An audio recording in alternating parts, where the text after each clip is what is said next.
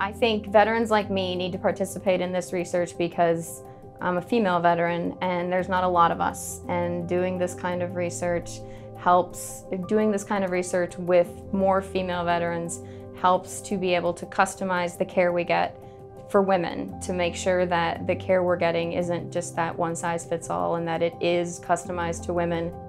To learn more or join today, visit mvp.va.gov or call 866 441 6075.